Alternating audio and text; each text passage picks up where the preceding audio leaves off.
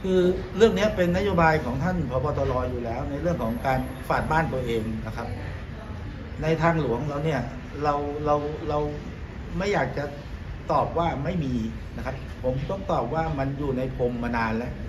นะครับ ต้องขอบคุณท่านวิโรจน์นะครับ ที่ออกมาเปิดเผยเรื่องนี้ แล้วก็ต้องขอบคุณสมาพันธ์รถบรรทุกเนี่ยที่ได้เข้ามาให้ข้อมูลแล้วก็เปิดเผยเรื่องนี้นะครับ ผมผมเชื่อว่าอ่า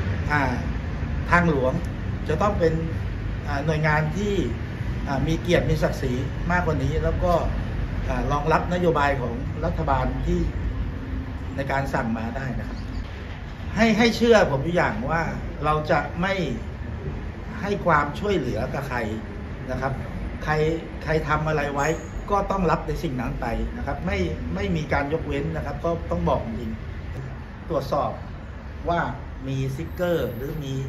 มีเครื่องหมายอะไรที่มันบ่งบอกไปทางธุรกิจทางธุรกิจเนี่ยให้รวบรวมมาทั้งหมด แล้วเดี๋ยวจะสู่ขั้นตอนของการสืบสวนข้อเท็จจริง ก็ดำเนินการไป พบใครไปยุ่งเกี่ยวก็ก็ว่าไปนะครับ ไม่ไม่หนักใจนะครับ ไม่หนักใจเรื่องนี้เป็นเรื่องของ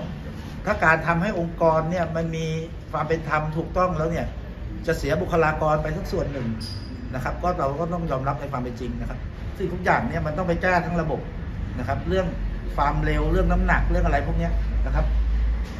กระทรวงคมนาคมก็คงต้องไปแก้นะครับ ไม่งั้นถ้ามันปล่อยปัญหามันสะสมหมักหมมอยู่อย่างเงี้ย แล้วก็ไม่แก้ยังใช้เรื่องเก่าๆมันก็ยังเป็นปัญหาที่ต้องแก้ไขกันไม่จบไม่สิ้นนะครับงั้นก็ฝากฝากหน่วยงานที่สูงกว่านี้นะครับ ไปดำเนินการแก้ไขเจ้าหน้าที่จะได้ทำงานได้สะดวกมากยิ่งขึ้นนะครับ แล้วก็แก้ไขความเดือดร้อนให้พี่น้องประชาชนมากยิ่งขึ้นนะครับ นะครับ ได้เกิดภาพลักษณ์ที่ดีนะครับ